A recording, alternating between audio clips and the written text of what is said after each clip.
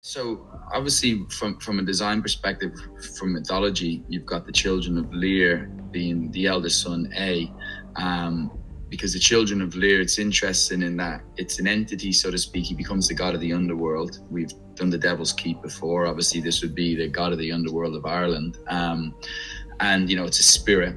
With spirits, we're in whiskey, and the children of Lear is an interesting story in that he's been trapped for 900 years a by his evil stepmother uh, because she was jealous of of his, of the love that his father showed to him and his brothers and sisters. So she trapped him in a swan's body for 900 years in the water, um, which is quite interesting. In that whiskey being in a barrel for for many many years until it matures to become something.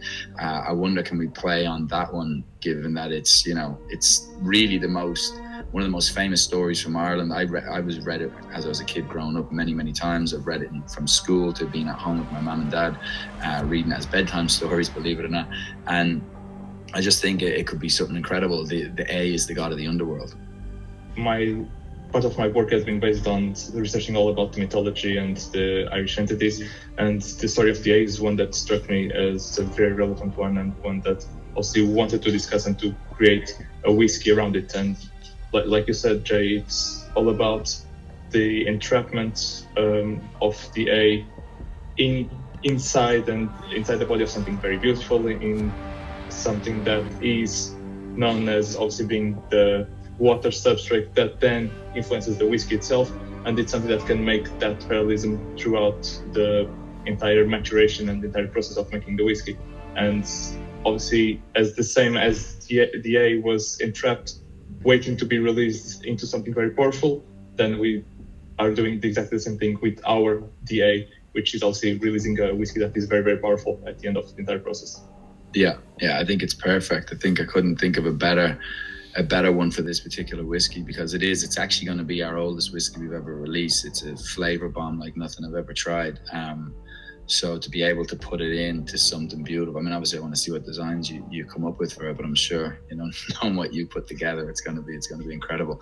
So yeah, if we can do something where it's entrapped or encased in something beautiful, um, that'd be kind of cool. Uh, yeah, and, and maybe it's got to always go back into that particular, like the vessel itself, the whiskey bottle, kind of always has to go back to where it was because obviously you're unleashing the god of the underworld and you're taking a sip of, of the Aodh, but then it's got to go back into its into its place. I think would be cool.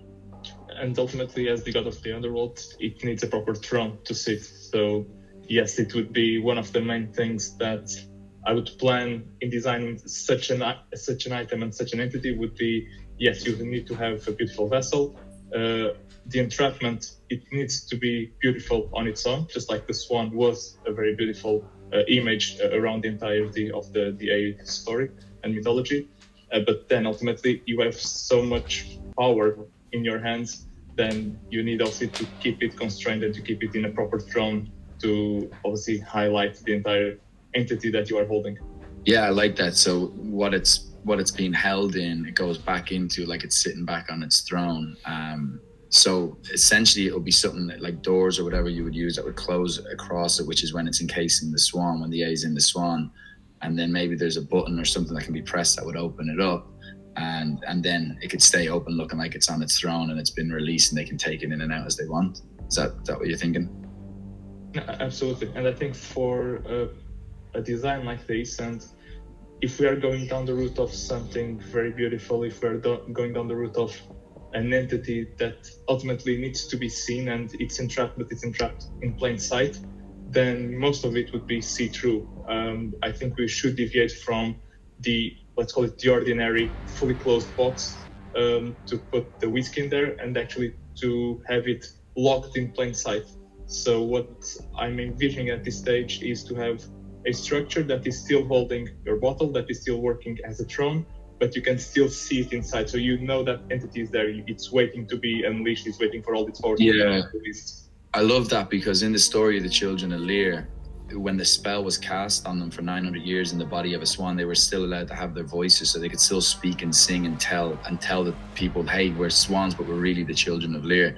Um, okay. So they're in plain sight, but they, they're not, so to speak, because they're, they're trapped in the body of a swan. But you can tell that it's the children of Lear. I think that's brilliant. Absolutely, I think it's it's all about seeing through the entirety of that entity, and it, like I said, it's going to be our most uh, rarest, our rarest and most um, exquisite release this far. Uh, it needs to have it, its own kind of visual and visual to see through through everything. Definitely. Yep, I agree.